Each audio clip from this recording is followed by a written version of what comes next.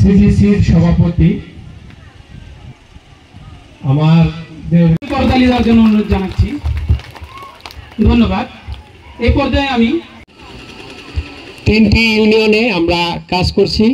আমাদের তিনটি ইউনিয়নের এই, স্বাস্থ্যসেবা রয়েছে।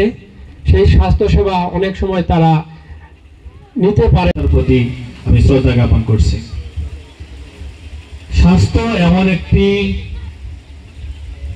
বিষয়, জনপ্রতিনিধি, যাদেরকে নিয়ে আমরা যে কোনো কার্যক্রম আমরা যদি পরিচালনা করি, জনপ্রতিনিধিদের প্রকল্প পরিচালক মোশারফ হোসেন মহোদয়ের কাছে আমি বলতে চাই যে আপনাদের এই প্রোগ্রামগুলো যখন হয়